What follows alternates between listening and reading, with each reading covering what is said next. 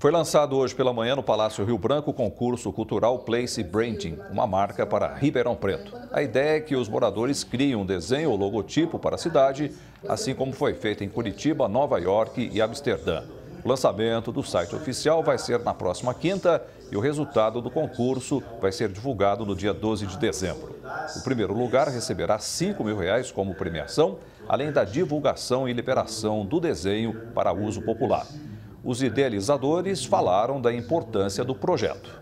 A gente acredita que ter uma marca, ter, ter todo um conceito né, da cidade, consegue reunir pessoas em volta de uma mesma ideia. Uma marca que represente a cidade, não só no que ela é hoje, mas o que ela pretende vir a ser, consegue atrair muita gente, né? muitos, muitos habitantes, muito investimento, muito turismo, e isso é bom para todo mundo de fora e principalmente de dentro da cidade. A ideia de trabalhar uma marca que aponte para o futuro para Ribeirão Preto, a partir do nosso presente e do nosso passado, é uma ideia fantástica, a gente acha que isso pode adicionar e a gente quer muito que a população e também os empresários de Ribeirão Preto participem desse processo. É fundamental para Ribeirão Preto que com esse potencial que a nossa cidade, a nossa população tem, que nós consigamos criar criar uma marca para divulgar esse potencial todo que nós temos a nível de Brasil, a nível até internacional.